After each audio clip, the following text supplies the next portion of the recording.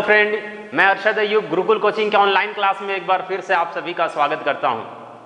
तो फ्रेंड आज हम लोग देखने वाले हैं रेशियो एंड प्रोपोर्शन का लेक्चर नंबर टू हमने पिछले क्लास में रेशियो एंड प्रोपोर्शन का कुछ बेसिक्स देखा। उसी से रिलेटेड एक बार रिवाइज करने के लिए आपके स्क्रीन पे एक क्वेश्चन दिखाई दे रहा होगा। मैं चाहूँगा कि एक बार ये क्वेश्चन आप लोग बना करके दिखाएँ। कहा जा रहा है, यदि ए अनुपात बी का वैल्यू है नौ, अनुपात आठ और बी अनुपात सी का वैल्यू है दो अनुपात तीन then find the value of A is to B is to C यानी ए अनुपात बी अनुपात सी ज्ञात करें। ऑप्शन ट्रेंड आपके सामने है। ऑप्शन क्या है? नौ अनुपात, आठ अनुपात, चौदह। नौ अनुपात, आठ अनुपात, बारह। आठ अनुपात, नौ अनुपात, बारह। और बारह अनुपात, आठ अनुपात, नौ। आप जल्दी से वीडियो को पॉज करें और बनाएँ, देखें कितना जल्दी आप आंसर ला सकते हैं। आप लोग कमेंट सेक्शन में ज़रूर लिखा करें कि कितना देर में आपने, जैसे आज का ये क्वेश्चन नंबर वन है क्वेश्चन नंबर वन आपने कितना देर में बनाया? आइए मैं इसको सॉल्व करता हूँ फ्रेंड देखिए, मैंने मैंने कहा था कि इस तरह के क्वेश्चन के लिए जब भी एग्जामिनेशन में आए तो हम लोग क्या करते हैं, कोई मेथड अप्लाई नहीं करते हैं, बस ऑप्शन के थ्रू बनाते हैं। हम लोग ऑप्शन में देखते हैं कि नौ अनुपात आठ किस किसमें है तो नौ अनुपात आठ इसमें है। ऑप्शन नंबर ए में है नौ अनुपात आठ, लेकिन बी अनुपात सी कितना होना चाहिए? तो बी अनुपात सी दो अनुपात तीन होना चाहिए। तो आठ और चौदह को देखिए तो ये दो और तीन के रूप में कटेगा क्या? तो दो चौके आठ और दो सते चौदह। नहीं, ये तो चार अनुपात सात है। यानी ऑप्शन नंबर एक गलत हो गया। ऑप्शन नंबर बी में आते हैं। नौ अनुपात आठ है।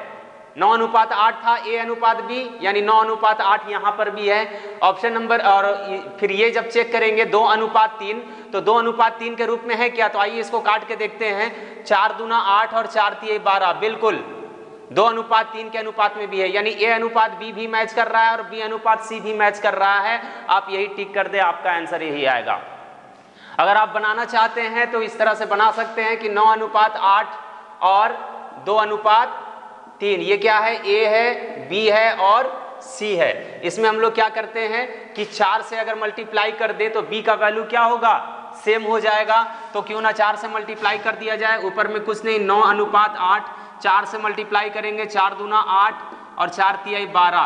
बी का वैल्यू अब सेम हो गया तो हम लिख सकते हैं नौ अनुपात आठ अनुपात बारह। तो फ्रेंड उम्मीद करते हैं कि ये कॉन्सेप्ट आप लोग को समझ में आ गया होगा ऑप्शन के थ्रू करने वाला। और ये कॉन्सेप्ट तो समझ में खैर पिछले ही क्लास में आ गया था आप लोगों को। तो चलिए हम लोग अब इससे थोड़ा आगे बढ़ते हैं और नए नए क्वेश्चन के साथ हम लोग आज देखेंगे कि क्या रेशियो में किस तरह का क्वेश्चन पूछा जाता है। चलिए फ्रेंड करते हैं हम लोग नेक्स्ट क्वेश्चन फ्रेंड आपका ये जो क्वेश्चन नंबर सेकेंड है, ये सेकेंड नंबर क्वेश्चन सिर्फ़ कॉन्सेप्ट को समझाने के लिए मैं यूज़ कर रहा हूँ। इसलिए इसको ध्यान से देखिएगा। जब भी फ्रैक्शन के रूप में अगर दिया रहे, अनुपात कभी फ्रैक्शन के रूप में नहीं होता है। समझ गए? तो उसको जब अनुपात निकालना है तो हमें फ्रैक्शन को खत्म करना होता है। तो अगर इसके बेसिक कॉन्सेप्ट को देखें तो कैसे खत्म किया जा सकता है? तो फ्रेंड वही जो हम लोग भिन्न का जोड़ घटाव किस तरह से करते थे फ्रैक्शन वाला, उसी तरह से हम लोग यूज़ करेंगे। यानी ए का वैल्यू कितना है? वन बाई टू है। बी का वैल्यू कितना है? वन बाई थ्री है। और सी का वैल्यू कितना है? वन बाई फोर है। अब हम लोग क्या करते हैं? नीचे वाले का एलसीएम ले लेते हैं। नीचे वाले का एलसीएम ले लेते हैं। तो जब एलसीएम लेंगे तो कितना आएगा? तो मैंने बताया हुआ है आप लोगों को एलसीएम निकालने का शॉर्ट ट्रिक कि जो मैक्सिमम नंबर है उसका टेबल पढ़ते हैं। और जब तक तब तक टेबल पढ़ते रहेंगे, जब तक कि तीनों से ऐसा नंबर ना आ जाए जो तीनों से कटता हो। तो चार का पहाड़ा एक बार पढ़ेंगे। चार एकम चार। क्या चार तीनों से कट रहा है? तो तीन से तो चार कट नहीं रहा है, इसलिए ये एलसीएम नहीं हो सकता है। फिर चार दूना आठ। क्या आठ तीन से कट रहा है? नहीं कट रहा है। तो फिर ये भी एलसीएम नहीं हो सकता है। चार तीन बारह। बारह तीन से कट रहा है और दो से भी कट रहा है। चार से तो कट ही रहा है। इसका मतलब इसका एलसीएम कितना हो जाएगा फ्रेंड? तो बारह हो जाएगा। क्लियर है? अब उसके बाद जैसे हम लोग प्लस माइनस में करते थे ना, यहाँ से डिवाइड करके देखेंगे कितना बार में कट रहा है। तो दो छः के बारह छः बार में कट रहा है। तो छः कम छः यहाँ पे छः हो जाएगा। अनुपात। फिर तीन से, तीन चौके बारह तो ऊपर चार एकम चार हो जाएगा। उसके बाद यहाँ चार तीन बारह, यानी तीन एकम तीन।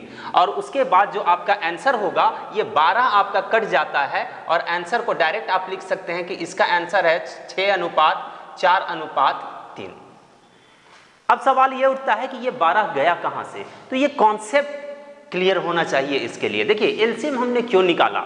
हमने इसी का दूसरा रूप लिखने के लिए। अगर एलसीएम की बात करें तो एलसीएम हम लोग इसलिए निकालते हैं कि आपको ध्यान होगा, जब हम लोग प्लस माइनस करते हैं, जैसे one by two plus three by two plus four by two तो ऐसे केसेज में जब नीचे में बराबर होता है तो ऊपर डायरेक्ट हम लोग ऐड कर सकते हैं, यानी चार तीन सात सात और एक आठ, यानी इसको डायरेक्ट आठ बटे दो लिख सकते हैं सॉरी आठ बटे दो लिख सकते हैं, क्योंकि एलसीएम इसका दो ही आएगा। तो एलसीएम हम लोग निकालते क्यों हैं? क्योंकि नीचे में समान आ जाए। नीचे में आपका क्या हो? समान हो। तो ये एल्शियम निकालने का मतलब ही यही हुआ फ्रेंड कि अगर इसको डिटेल में देखा जाए तो जब एल्शियम हम निकाले तो 12 आया। इसका मतलब क्या हुआ कि अब ये 12 सभी के साथ डिवाइड है। मतलब ये हुआ कि इसको हम लोग ऐसे भी लिख सकते हैं छः बटे बारह, अनुपात चार बटे बारह, अनुपात तीन बटे बारह। इसको ऐसे भी लिखा जा सकता है। तभी हम इसके इक्वल हम मान सकते हैं। देखिए इक्वल ये सभी के कैसे है? देखिए, इसको हम लोग ऐसे लिख सकते हैं या फिर कह ले कि ऐसे लिख सकते हैं। दोनों में से किसी को यूज़ कर सकते हैं। किसको स्टार्टिंग कहाँ से किए? तो स्टार्टिंग हमने यहाँ से किया। अब हम लोग चेक कर लेते हैं, क्या हमने सही लिखा है? तो यहाँ पे वन बाई टू था। छः बटे बारह को वन बाई टू लिख सकते हैं। तो छः बटे बारह को छः कम छः छः दूना बारह। हाँ वन बाई टू लिख सकते हैं। बिल्कुल सही है। चार बटे बारह, यानी एक बटे तीन को चार बटे बारह लिख सकते हैं। तो चार एकम चार चार तीन बारह। एकदम ठीक है? चार एकम चार चार तीन बारह होगा। एक बटा तीन, उसी तरह से एक बटा चार इसका भी वैल्यू हो जाएगा। तो फ्रेंड इसलिए यहाँ सवाल था कि बारह क्यों कटा? देखिए अनुपात में क्या होता है? सामने सामने का पार्ट को काट सकते हैं। अब यहाँ पे हम कह सकते हैं कि 12 का टेबल से तीनों कट रहा है। 12 वन जा ट्वेल्व ट्वेल्व वन जा ट्वेल्व ट्वेल्व वन जा ट्वेल्व तो यहाँ मेरा आंसर कितना आया? Six by one six by one को हम क्या लिख सकते हैं? Six ratio four ratio three इसलिए एलसीएम जो निकालने के बाद नीचे आता है, उसको हम लोग खत्म कर देते हैं और जो ऊपर वाला होता है, वही आंसर हो जाता है फ्रेंड क्लियर है ना? अगर क्लियर हुआ तो इस, इसको नोट कर लीजिए। बाकी मैं एक और कॉन्सेप्ट बताऊँगा इसके लिए। कि इसको हम लोग ऑप्शन के थ्रू भी किस तरह से कर सकते हैं, कि ऑप्शन के थ्रू कैसे किया जा सकता है ये। तो चलिए फ्रेंड हम लोग देखते हैं कि इसका और दूसरा रूप क्या है, कैसे हम लोग एग्जामिनेशन में ऐसे क्वेश्चन को डील करेंगे, वो हम लोग एक और क्वेश्चन के थ्रू समझेंगे। ठीक इसी तरह का क्वेश्चन मैं दूँगा। आप लोग इस कॉन्सेप्ट से बना करके दिखाएँ, बना करके चेक कीजिए कि क्या आप लोगों को समझ में आ गया। फिर मैं आपको बताऊँगा कि इसको एग्जामिनेशन पॉइंट ऑफ़ व्यू से कैसे सॉल्व करना है। चलिए तो क्वेश्चन नंबर थर्ड आपके स्क्रीन पे दिखाई दे रहा होगा। मैं चाहूँगा कि आप लोग इसे बना के दिखाएँ और देखिए कितना समय लगता है। उसके बाद में बताऊँगा कि एग्जामिनेशन पॉइंट ऑफ़ व्यू से इस तरह के क्वेश्चन को कैसे हम लोग एग्जामिनेशन में बनाएँगे। फ़िलहाल, आप लोग वीडियो को पॉज करें, बनाएँ और टाइमिंग कमेंट में लिखें कि क्वेश्चन नंबर थर्ड आपने कितना समय लिया थर्ड क्वेश्चन नंबर थर्ड को बनाने में। अब मैं बताता हूँ, देखिए फ्रेंड अगर बात करते हैं वन बाई थ्री इसको देखिए, दो तरह से बनाया जा सकता है। अगर ए अनुपात बी हम निकालें, ए अनुपात बी अगर निकालते हैं तो क्या होगा? तो one by three ratio one by four. One by three ratio one by four होगा। इसका मतलब क्या हुआ कि जब हम लोग एलसीएम निकालेंगे तो देखिए क्या आपका कॉमन सभी में क्या कॉमन आता है? एलसीएम क्या आएगा? तो एलसीएम आएगा आपका 12 तो तीन चौके 12 यानी ऊपर में चार आएगा और नीचे में यहाँ पे क्या आ जाएगा? तो चार तीन बारह यानी कि तीन आएगा। तो इस चीज़ में आपने देखा कि जो जो ए के नीचे था, जो ए के नीचे था, वो बी का वैल्यू हो गया और जो बी के नीचे था, वो ए का वैल्यू हो गया। ठीक है ना? देखिए, जो b के नीचे है, वो a का वैल्यू हो गया और जो a के नीचे है, वो b का वैल्यू हो गया। क्योंकि 12 तो आपका कट जाएगा। तो a अनुपात b आप बोल सकते हैं कि कितना आएगा? तो चार अनुपात a अनुपात सॉरी a अनुपात b का वैल्यू क्या आएगा? तो a अनुपात b आएगा चार अनुपात तीन। क्लियर है फ्रेंड a अनुपात b कितना आएगा? चार अनुपात तीन। तो इस तरह से हम लोग ये कॉन्सेप्ट को यूज़ करके ऑप्शन के थ्रू बना सकते हैं कि ये दोनों का हम लोग क्या करते हैं कि जो बी के साथ है वो ए का वैल्यू होगा और जो ए के साथ है वो बी का वैल्यू होगा। तो हम लोग मन में देख लेंगे कि ए अनुपात बी कितना है तो चार अनुपात तीन है। तो हम लोग चेक कर लेते हैं ऑप्शन में डायरेक्ट कि चार अनुपात तीन कितने में है। तो चार अनुपात तीन तीन जब हम लोग चेक करते हैं यहाँ पे आठ छः है तो देखते हैं काट करके आ, दो चौके आठ दो तिहाई छः चार अनुपात तीन है। हाँ चार अनुपात तीन चाहिए था, चार अनुपात तीन भी है। लेकिन बी अनुपात सी जब देखते हैं तो जो सी के साथ है, वो बी का वैल्यू हो जाएगा। जस्ट उल्टा होता है ना, जब बी अनुपात सी देख रहे हैं हम लोग तो जो बी के साथ है, जो सी के साथ है, वो बी का वैल्यू होगा, यानी छः और जो बी के साथ है, वो सी का वैल्यू हो जाएगा, यानी चार। यानी जब इसको काटेंगे तो दो तिहाई छः और दो दूना चार, यानी तीन अनुपात दो। क्या ये तीन अनुपात दो है? तो हम लोग ये तीन को अब नहीं देखेंगे। अब ये दोनों को कंपेरिजन करेंगे। यानी छह अनुपात दो को जब हम काटेंगे तो दो एकम दो दो तिहाई छह। तीन अनुपात एक आ रहा है, जबकि आना चाहिए था कितना? तीन अनुपात दो आना चाहिए था। यानी ये ऑप्शन नहीं हो सकता है। आगे बढ़ते हैं फ्रेंड ए अनुपात बी कितना होना चाहिए था? चार अनुपात तीन। चार अनुपात तीन बिल्कुल है। उसके बाद बी अनुपात सी कितना होना चाहिए था? तो तीन अनुपात दो। तो तीन अनुपात दो भी है। आपका राइट आंसर आ चुका है। आपको अलग से सॉल्व करने की ज़रूरत नहीं है। अगर सॉल्व करना चाहते हैं तो वही एलसीएम मेथड आप लोग यूज़ करें कि एलसीएम में क्या करना है कि ए अनुपात ए बटा बी लिख दिए one by three one by four और सी का वैल्यू कितना है? वन बाई सिक्स है। जब एलसीएम निकालेंगे तो अभी भी एलसीएम बारह ही आएगा। देख लीजिए छः दुना बारह बारह छः से भी कट रहा है आपका तो छः दुना बारह यानी कि दो बारह कट जाएगा यानी चार अनुपात तीन अनुपात दो। इस तरह से आप सॉल्व कर सकते हैं। तो जो आपको अच्छा लगे जो भी कॉन्सेप्ट आपको अच्छा लगे उस कॉन्सेप्ट से आप बनाइए। फिर हम लोग देखते हैं आ, आगे कि आगे और किस तरह से क्वेश्चन पूछा जाता है, खास करके एसएससी रेलवे वगैरह में, और बैंकिंग में भी पूछा जाता है इस तरह का क्वेश्चन जो आपका अगला क्वेश्चन होगा। तो चलिए देखते हैं कि अगला क्वेश्चन क्या है। क्वेश्चन नंबर फोर आपके स्क्रीन पे दिखाई दे रहा है। क्वेश्चन एक बार मैं रीड कर देता हूँ। यदि टू बराबर है थ्री के, और फोर बराबर है फाइव के तो ए अनुपात बी अनुपात सी बराबर क्या होगा? देखिए फ्रेंड इस तरह का क्वेश्चन एग्जामिनेशन में पूछा गया है एसएससी सीजीएल में सीएचएसएल में इनफैक्ट एनटीपीसी uh, में रेलवे में बैंकिंग में हर एग्जामिनेशन में सेम टाइप का क्वेश्चन पूछा गया है। इसको भी हम लोग ऑप्शन के थ्रू कर सकते हैं लेकिन इसके कॉन्सेप्ट को समझना ज़रूरी है। इसको कॉन्सेप्ट इसके कॉन्सेप्ट को समझने के लिए बस इतना ध्यान में रखिए कि अगर अगर कहीं पर भी ऐसे दिया गया है ये क्वेश्चन अभी थोड़ी देर के लिए भूल जाइए। कहीं पे दिया गया है nine X equal to seven Y nine X equal है। किसके? तो सेवन वाई के इक्वल है। तो आपको निकालने के लिए अगर बोल दिया जाए कि एक्स रेशियो वाई बराबर क्या होगा? एक्स रेशियो वाई बराबर क्या होगा? तो आप डायरेक्ट लिख सकते हैं। देखिए, इसका एक कॉन्सेप्ट है जो कि मैंने पिछले परसेंटेज क्लास में थोड़ा सा कॉन्सेप्ट बताया था रेशियो का। कि जो y के बगल में है, वो किसका वैल्यू होता है? अल्टीमेटली x का वैल्यू हो जाता है और जो x के बगल में है, वो y का वैल्यू होता है। आइए कैसे होता है, वो करके देखते हैं। यानी यहाँ पे डायरेक्ट हमें आंसर पता है कि जो y के बगल में है वो किसका वैल्यू होगा?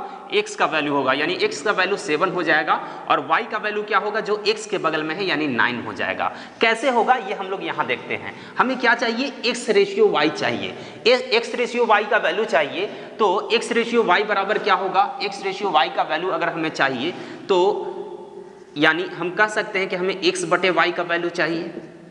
यही कह सकते हैं। ये y को हमने क्या किया? इधर भेज दिया। y को इधर, यहाँ पर 9x है, y को इधर भेज दिए। तो कितना हो गया?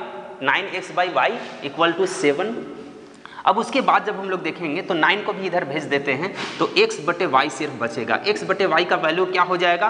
तो एक्स बटे वाई का वैल्यू होगा, ऊपर में सेवन पहले से था, नाइन इधर ऊपर में है तो यहाँ आकर के इक्वल के इधर आके कहाँ चला जाएगा? नीचे में आ जाएगा। तो आप ही लोग बताइए फ्रेंड एक्स का वैल्यू क्या आया? सेवन आया, और वाई का वैल्यू क्या आया? नाइन आया। तो एक्स का वैल्यू सेवन वाई का वैल्यू नाइन। यानी हम कह सकते हैं कि ऐसे केसेज में मल्टीप्लीकेशन के केसेज में, जब ये मल्टीप्लाई होता है एक दूसरे से तो मल्टीप्लाई के केसेज में क्या होता है कि जो y के बगल में होता है, वो x का वैल्यू हो जाता है, या जो x के बगल में होता है, वो y का वैल्यू हो जाता है। हमेशा ऐसा होगा। और ठीक इसी तरह से एक और कॉन्सेप्ट है कि अगर यही चीज़ इस तरह से होता, x बटे नाइन बराबर y बटे सेवन अगर ये आपका इस तरह से कॉन्सेप्ट रहता और बोला जाता कि बताइए x अनुपात y बराबर क्या होगा तो x अनुपात y क्या हो जाता है? तो जो x के साथ होता है, वही x का वैल्यू होता है और जो y के साथ होता है, वही y का वैल्यू होता है। तो ये छोटा सा कॉन्सेप्ट आप लोग ध्यान में रखेंगे फ्रेंड उम्मीद करते हैं। कि डिवाइड के केस में क्या होगा? जो x के साथ है, वही x का वैल्यू हो जाएगा, जो y के साथ है, वही y का वैल्यू होगा।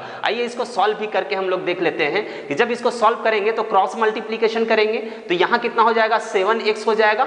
सेवन एक्स होगा इक्वल टू नाइन को एक्स वाई से गुना करेंगे तो नाइन वाई हो जाएगा। अब बताइए एक्स अनुपात वाई क्या होगा? तो ये हमने सॉल्व करके इस वाले कॉन्सेप्ट में देखा था कि जो वाई के बगल में है, वो एक्स का वैल्यू होगा, और जो एक्स के बगल में है, वो वाई का वैल्यू होगा, यानी नौ अनुपात सात। नौ अनुपात सात। तो हम कह सकते हैं कि डिवाइड के केस में जो x के साथ है वही x का वैल्यू होता है और जो y के साथ है वही y का वैल्यू होता है। अब इसको अप्लाई कैसे करेंगे क्वेश्चन में? अब आते हैं फ्रेंड क्वेश्चन में। अगर इसको नोट करना चाहते हैं आप लोग तो नोट कर लें। आ, फिर हम लोग देखते हैं कि ये क्वेश्चन को किस तरह से एग्जामिनेशन में डील करना है और पूरा बना करके भी मैं दिखाऊँगा इस क्वेश्चन को। तो आइए फ्रेंड देखते हैं पहले हम लोग कि इसको हम लोग पहले एग्जामिनेशन पॉइंट ऑफ़ व्यू से किस तरह से बना सकते हैं और एग्जामिनेशन पॉइंट ऑफ़ व्यू के साथ साथ हम लोग देखेंगे इसके बेसिक कॉन्सेप्ट को भी कि किस तरह से हम लोग इस तरह का क्वेश्चन बनाते हैं। तो फ्रेंड देखिए, क्या होता है कि यहाँ पे जब हमने देखा ये वाले लाइन में तो 2a इक्वल है 3b के। तो जो जो b के बगल में है वो किसका वैल्यू होगा? A का। और जो a के बगल में है वो b का वैल्यू होगा। तो क्या हम ये माइंड में सेट नहीं कर सकते हैं कि a अनुपात b a अनुपात बी बराबर थ्री अनुपात टू होगा। ए का वैल्यू क्या होगा? थ्री होगा, क्योंकि बी के बगल में है, और बी का वैल्यू क्या होगा? जो ए के बगल में है। होगा ना? और ठीक उसी तरह से बी अनुपात सी, ये क्या निकल गया? ए अनुपात बी निकल गया, और बी अनुपात सी निकल गया। बी अनुपात सी कितना निकलेगा? तो जो सी के बगल में है, वो बी का वैल्यू हो जाएगा, यानी फाइव, और जो बी के बगल में है, वो सी का वैल्यू हो जाएगा, यानी कि 4 अब हम लोग ऑप्शन में चेक कर लेते हैं कि ए अनुपात बी तीन अनुपात दो होना चाहिए। आइए काट के देखते हैं, क्या तीन अनुपात दो होगा? तो पाँच से जब काटे तो पाँच थी पंद्रह और पाँच दूना दस। बिल्कुल तीन अनुपात दो हो रहा है। अच्छा बी अनुपात सी को अब हम लोग चेक करते हैं। पाँच अनुपात चार है क्या? तो आइए देखते हैं। दो पचे दस और दो चौके आठ। हाँ पाँच अनुपात चार भी है। यानी दोनों मैच कर रहा है। आगे चेक करने की ज़रूरत ही नहीं है। यही आपका आंसर हो जाएगा। बिना किसी कॉन्सेप्ट को यूज़ किए हुए, बिना किसी फॉर्मूला या किसी तरह का मेथड को यूज़ किए हुए आप ऑप्शन के थ्रू बना सकते हैं फ्रेंड इस तरह के क्वेश्चन को। अच्छा उसके बाद अगर आप लोग आगे चेक करके खुद से देख लें कि कोई भी ऑप्शन इस तरह से मैच नहीं करेगा। अगर इसको बनाना ही चाहते हैं तो ये कॉन्सेप्ट तो समझ में आ गया है आपको कि ए अनुपात बी बराबर क्या हो गया। तो ए अनुपात बी बराबर हो गया कितना? तो तीन अनुपात दो और बी अनुपात सी कितना हो गया? तो बी अनुपात सी बराबर हो गया आपका फाइव इज़ टू फोर अब क्या होगा कि क्रॉस मल्टीप्लीकेशन मैंने कहा था कि ऊपर में कितना से मल्टीप्लाई होगा? फाइव से, चूँकि बी का वैल्यू अलग अलग है और नीचे कितना से मल्टीप्लाई होगा? तो टू से मल्टीप्लाई होगा। पाँच से, पाँच ती आई, पंद्रह, पाँच दूना दस। उसके बाद दो से जब मल्टीप्लाई करेंगे तो दो पचे दस और दो चौके आठ। अब देखिए बी का वैल्यू समान हो गया तो हम लिख सकते हैं पंद्रह अनुपात दस अनुपात आठ। पंद्रह अनुपात दस अनुपात आठ, आपका आंसर आ गया। तो ये आप पे डिपेंड करता है कि आप बना करके ऑप्शन टिक करें एग्जामिनेशन में, या फिर डायरेक्ट टिक करें। रेशियो एक ऐसा, मैंने बताया था कि रेशियो एक ऐसा चैप्टर है जहाँ पे ऑप्शन आपका बहुत हेल्प करने वाला है समय बचाने के लिए। तो जब समय मेरा बच रहा है बिना मेथड यूज़ किए हुए तो हम क्यों मेथड यूज़ करके समय को बर्बाद करें? तो फ्रेंड चलिए हम लोग देखते हैं। एक और इसी तरह का अगले क्वेश्चन जो कि थोड़ा मज़ेदार हो और आप लोग रिवाइज भी, आप लोग का थोड़ा बहुत रिवाइज भी हो जाए तो आइए फ्रेंड देखते हैं उसको। अगला क्वेश्चन आपके सामने दिखाई दे रहा होगा। यदि a बटे बी बराबर है b बटा थ्री के और b बटा छः बराबर है छः बटे सात के तो a अनुपात, b अनुपात c बराबर क्या होगा? यानी यदि a बटा b इक्वल b बटा थ्री और b बटा सिक्स इक्वल c बटा सेवन है तो a अनुपात, b अनुपात c क्या होगा? आप लोग ऑप्शन मैं चाहूँगा कि ऑप्शन के अकॉर्डिंग आप लोग इसको सॉल्व करें। तब आ, मैं समझूँगा कि आपको कॉन्सेप्ट समझ में आ गया है। अदरवाइज़ ऐसे तो ये क्वेश्चन बन ही जाएगा। इजी लेवल इजी है। लेकिन इस तरह का क्वेश्चन एस एस तक में पूछा जाता है। तो इस तरह का कॉन्सेप्ट जो है क्लियर होना ज़रूरी है। क्योंकि समय आपका यही सब क्वेश्चन बचाने वाला है फ्रेंड देखिए क्या होता है कि अभी हमने थोड़ी देर पहले कहा था कि जब डिवाइड में हो तो जो ए के साथ है वही ए का वैल्यू होता है। और जो बी के साथ है वही बी का वैल्यू होता है। तो यहाँ पे ए अनुपात बी हम लोग क्या ये मन में नहीं कह सकते हैं कि दो अनुपात थ्री होगा। जो ए के साथ है वही ए का वैल्यू होगा और जो बी के साथ है वही बी का वैल्यू होगा। और ठीक उसी तरह से बी अनुपात सी कितना हो जाएगा? तो जो बी के साथ है वही बी का वैल्यू होगा और जो सी के साथ है वही सी का वैल्यू हो जाएगा। अब हम लोग ऑप्शन में चेक कर लेते हैं। दो अनुपात तीन कहाँ पे है? दो अनुपात तीन हाँ फ़र्स्ट में है। सेकंड में क्या आ रहा है? छह अनुपात सात होना चाहिए। क्या छह अनुपात सात है? नहीं है। ये नहीं हो सकता है। सेकंड ऑप्शन देखते हैं। दो अनुपात तीन है। दो अनुपात तीन है। लेकिन बी, सी क्या होना चाहिए? छः सात होना चाहिए। क्या छः सात है? नहीं है। तो ये आपका नहीं हो सकता है। आगे देखते हैं तीसरा ऑप्शन में। तीसरा ऑप्शन क्या है आपका? Four is to six is to seven है। तो ए अनुपात बी, दो अनुपात तीन है क्या? तो काट के देखते हैं इसको। दो दूना चार और दो तिहाई छः हाँ ये भी दो अनुपात तीन है, लेकिन बी अनुपात सी को जब देखते हैं तो छः अनुपात सात है क्या? तो हाँ बिल्कुल छः अनुपात सात है। यानी आप कह सकते हैं कि ऑप्शन नंबर सी आपका आंसर है। बाकी आप बना के चेक करना चाहें तो कर सकते हैं कि अनुपात बी कितना है? दो अनुपात तीन है और बी अनुपात सी कितना है? तो छः अनुपात सात है। सिर्फ़ ऊपर में ही मल्टीप्लाई करने से काम चल जाएगा दो से तो दो दूना, चार, अनुपात दो, तिहाई छः नीचे तो छः पहले से है, और सात बी का वैल्यू अब समान हो गया है, यानी चार अनुपात छः अनुपात सात। तो आपका चार अनुपात छः अनुपात सात, ये ऑप्शन के थ्रू भी आप टिक कर सकते हैं फ्रेंड तो चलिए, इसी तरह का सेम क्वेश्चन थोड़ा सा मॉडिफाई करके मैं आपके सामने दूँगा, और मैं चाहूँगा कि इस तरह का क्वेश्चन आप लोग ऑप्शन के थ्रू बनाएँ, और देखिए कितना समय में आप लोग बनाते हैं कमेंट सेक्शन में ज़रूर लिखा करें। चलिए फ्रेंड देखते हैं अगला क्वेश्चन क्वेश्चन नंबर सिक्स आपके स्क्रीन के सामने दिखाई दे रहा होगा. यदि ए बराबर एक बटा तीन बी और बी बराबर एक बटा दो सी है तो ए अनुपात बी अनुपात सी बराबर क्या होगा? ए अनुपात बी अनुपात सी बराबर क्या होगा? ऑप्शन फ्रेंड आपके सामने है, तीन अनुपात, दो अनुपात, एक होगा क्या? या one is to three is to six होगा, या two is to four is to six होगा, या फिर six is to three is to one होगा। फ्रेंड, इस तरह का क्वेश्चन, ये क्वेश्चन, स्पेशली ये क्वेश्चन सीबीआई में पूछा गया क्वेश्चन है। सीबीआई के एग्जामिनेशन में ये क्वेश्चन पूछा गया है।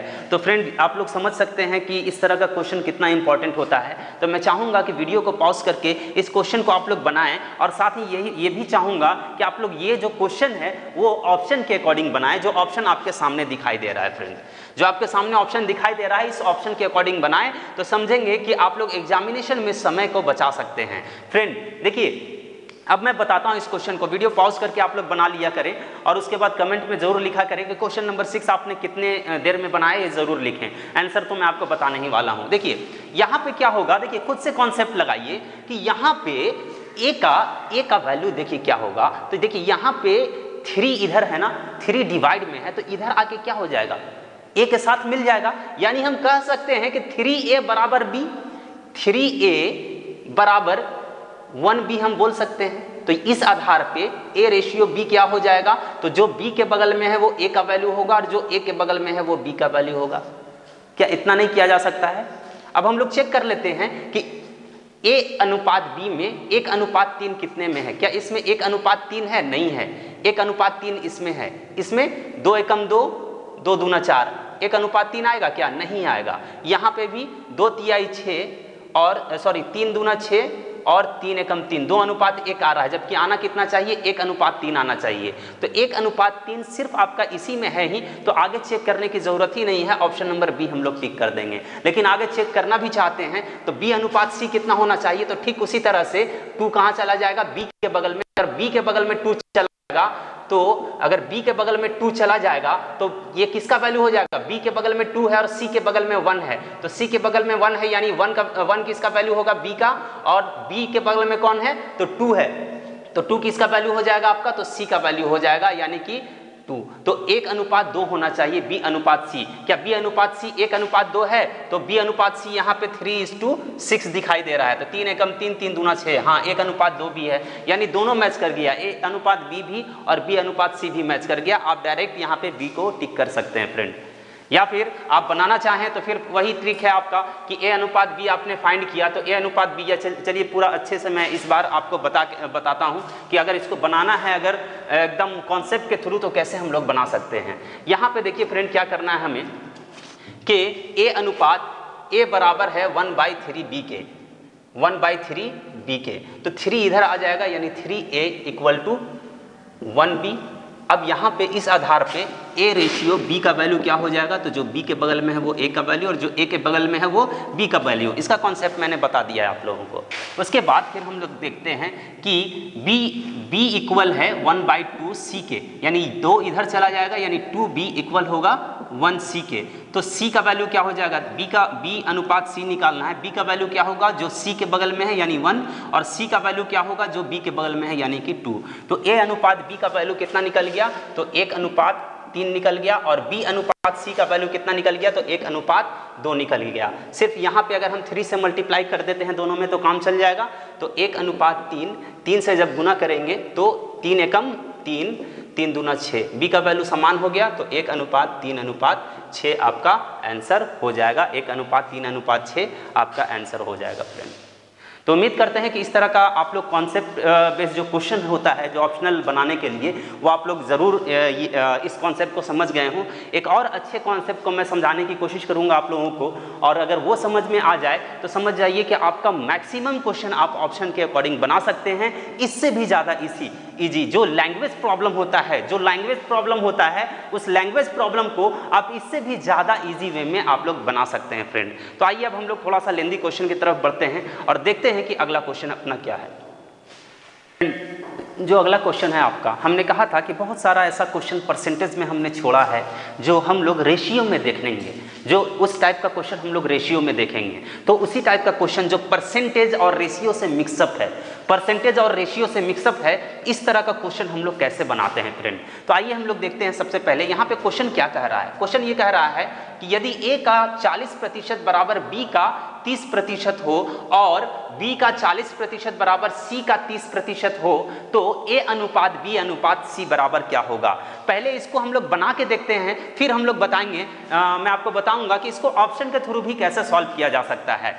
फ्रेंड यहाँ पे बोला गया कि ए का 40 प्रतिशत यानी ए का 40 प्रतिशत ए का मतलब गुना 40 परसेंट जब हटता है तो नीचे 100 आपका आता है। बराबर है बी का, यानी बी गुना 30 बटे सौ के। जब इसको, जब इस वाले इक्वेशन को हम लोग सॉल्व करेंगे तो 100 से 100 कट जाएगा आपका बीच में इक्वल है तो सामना सामनी का पार्ट काट सकते हैं। ये ज़ीरो से ज़ीरो कैंसिल आउट हो गया। यानी हम कह सकते हैं कि 4a बराबर है किसके? तो 3b के। तो इस आधार पे 3 इस आधार पे a रेशियो b कितना हो जाएगा आपका? तो 3 इज़ टू फोर हो जाएगा। थ्री रेशियो फोर हो जाएगा। क्यों? क्योंकि ए का वैल्यू कौन होगा? जो बी के बगल में है और जो बी का वैल्यू कौन होगा? जो ए के बगल में है। ठीक उसी तरह से अब हम लोग सॉल्व करेंगे कि बी का 40 परसेंट, यानी बी गुना चालीस परसेंट जब हटता है तो नीचे 100 आता है, बराबर सी का, यानी सी गुना तीस बटे हंड्रेड फिर से हंड्रेड से हंड्रेड कट जाएगा और ये ज़ीरो से ज़ीरो कट जाएगा। तो आप बोल सकते हैं कि फोर बी बराबर है बराबर है थ्री सी के तो आप ही लोग बताएँ कि b अनुपात c बराबर क्या होगा। b अनुपात c बराबर क्या होगा? तो जो c के बगल में है वो b का वैल्यू होगा और जो b के बगल में है वो c का वैल्यू हो जाएगा। इस आधार पे आपको निकालना क्या था? आपको निकालना था friend a ratio b ratio C निकालना है। तो a ratio b ratio c आप निकाल दें, चाहे तो यहाँ से ऑप्शन को चेक कर लें आप, या फिर निकालना ही चाहते हैं तो निकाल दें कि ए रेशियो बी कितना है? तो थ्री इज़ टू फोर है। ये ए हो गया, ये बी हो गया और ये C हो गया। तो यहाँ पे बी रेशियो सी कितना है? तो थ्री इज़ टू फोर है। अब यहाँ पे आप लोग को, को आप लोगों को थ्री से मल्टीप्लाई करना होगा यहाँ पे फोर से मल्टीप्लाई करना होगा। आइए मल्टीप्लाई करके देखते हैं। तीन तिहाई नौ तीन चौके बारह। अब नीचे गुना करते हैं तो चार तिहाई बारह बी का वैल्यू समान हो गया और चार चौके सोलह। यानी आपका आंसर कितना होगा? नौ अनुपात बारह अनुपात सोलह ऑप्शन नंबर ए सही होगा। इसमें एक स्टेप मैंने काट दिया है। यहाँ पे एक स्टेप जो बनता आपका नौ अनुपात बारह और फिर बारह अनुपात सोलह इस तरह से बनता तो बी का वैल्यू सेम होगा तो इसलिए बी का वैल्यू हम एक ही बार लिख दिए। एक स्टेप काट करके, ये तो पिछले क्लास में भी मैंने बताया था कि कैसे स्टेप्स को काटते हैं इस तरह के क्वेश्चन में। फ्रेंड ये तो हो गया बनाने का तरीका। लेकिन इस तरह के क्वेश्चन को हम लोग एग्जामिनेशन में कैसे डील करेंगे? इस तरह का क्वेश्चन अक्सर पूछा जाता है एग्जामिनेशन में। कैसे डील करेंगे इस तरह के क्वेश्चन को? जब एग्जामिनेशन में ऐसा क्वेश्चन कंपटिशन के एग्जामिनेशन में ऐसा क्वेश्चन पूछा जाएगा तो। फ्रेंड देखिए, बहुत ही ईजी है। ये इतना लंबा चौड़ा आपको सॉल्व करने की ज़रूरत नहीं है। इतना लंबा चौड़ा आपको सॉल्व करने की ज़रूरत नहीं है। देखिए, यहाँ पे आपको जब सॉल्व करना है तो किस तरह से सॉल्व कर सकते हैं? देखिए परसेंटेज दोनों साइड में है। जब परसेंटेज दोनों साइड में है दैट मीन्स क्वेश्चन इजी हो गया। क्यों इजी हो गया? क्योंकि दोनों साइड डिवाइडेड बाई हंड्रेड होने वाला है। तो हंड्रेड से हंड्रेड तो आपका कट ही जाएगा। तो क्यों ना आप परसेंट से परसेंट को ही काट दें? परसेंट से परसेंट को ही काट दें। उसके बाद ज़ीरो से ज़ीरो कट जाएगा आपका। यानी आप कह सकते हैं कि फोर ए बराबर थ्री बी है तो फोर ए बराबर थ्री बी है। तो ए अनुपात बी बराबर कितना हो जाएगा? तो तीन अनुपात चार हो जाएगा। जो बी के बगल में है, वो ए का वैल्यू होगा, और जो ए के बगल में है, वो बी का वैल्यू होगा। हम तुरंत चेक करेंगे ऑप्शन में कि ए का वैल्यू तीन और बी का वैल्यू चार कितने में है। तो आइए चेक करते हैं। तीन से इसको जब काटते हैं तो तीन तिहाई नौ, तीन चौके बारह। हाँ बिल्कुल। तीन अनुपात चार के रूप में है option number A option number B भी नौ बारह है तो ये भी आपका तीन अनुपात चार के रूप में है, ये भी हो सकता है। अब आगे देखते हैं, तीन अनुपात चार, कितना होना चाहिए था तीन अनुपात चार? तीन अनुपात चार के रूप में ये डायरेक्ट है, यानी ये भी आपका हो सकता है। तीन अनुपात चार क्या इसको काट के तीन अनुपात चार किया जा सकता है? नहीं किया जा सकता है, ये ऑप्शन आपका नहीं हो सकता है। उसके बाद जब हम लोग देखते हैं आगे का तो आगे का प्रोसेस देखते हैं तो यहाँ भी परसेंटेज से परसेंटेज कट जाएगा ज़ीरो से ज़ीरो कट जाएगा। तो बी अनुपात सी का वैल्यू क्या हो जाएगा? तो जो सी के बगल में है वो बी का वैल्यू होगा, यानी थ्री और जो बी के बगल में है वो सी का वैल्यू हो जाएगा, यानी कि फोर यानी तीन अनुपात चार। बी अनुपात सी कितना होना चाहिए? तीन अनुपात चार होना चाहिए। तो बी अनुपात सी जब हम चेक करेंगे, यानी बारह और सोलह को चेक करेंगे तो चार तीन बारह, चार चौके सोलह। हाँ तीन अनुपात चार आ रहा है। तीन अनुपात चार ही चाहिए था। तीन अनुपात चार आ रहा है बी अनुपात सी में। तो बस आगे चेक करने की ज़रूरत नहीं है। बाकी सबको आप काट दीजिए। चेक करना चाहे तो चेक करके देख ले। बाकी कोई भी तीन अनुपात चार नहीं देगा। आइए चेक करके देख लेते हैं। बारह और बीस को चेक करके देखते हैं। चार दिए बारह, चार पचे बीस। क्या तीन चार दिया? तीन चार नहीं ना दिया। उसके बाद चार पाँच तो ये दे ही नहीं रहा है। चार पाँच आपको देना कितना है? तीन चार देना है। ये तो हो ही नहीं सकता है। यहाँ चार तीन है। ये तो पहले ही से कट चुका है। फ्रेंड इस तरह के क्वेश्चन में हमेशा ऑप्शन यूज़ किया करें। जब भी चाहे वो परसेंटेज में दिया रहे फ्रैक्शन में दिया रहे या मल्टीप्लिकेशन में दिया रहे, आपका ऑप्शन बहुत ही काम आने वाला है फ्रेंड एक जो कॉन्सेप्ट जो मैं बताने के लिए सोच रहा था कि इसी क्लास में आप लोगों को बता दूँगा, लेकिन चूँकि समय बहुत हो चुका है तो आज के लिए हम लोग इतना ही रखते हैं. इतना क्वेश्चन काफ़ी एक दिन के लिए. कल हम लोग अगले और अच्छे अच्छे क्वेश्चन के साथ आने वाले हैं. जिसमें हम लोग लैंग्वेज प्रॉब्लम प्रॉपरली करेंगे और बहुत ही अच्छा अच्छा क्वेश्चन करेंगे और बहुत ही आसान मेथड से हम लोग यूज़ करेंगे कॉन्सेप्ट के थ्रू भी और एग्जामिनेशन पॉइंट ऑफ़ व्यू से कैसे डील करना है क्वेश्चन को, वो भी देखेंगे हम लोग अगले क्लास में। तब तक के लिए हँसते रहिए, मुस्कुराते रहिए, स्वस्थ रहिए। Good bye and thank you so much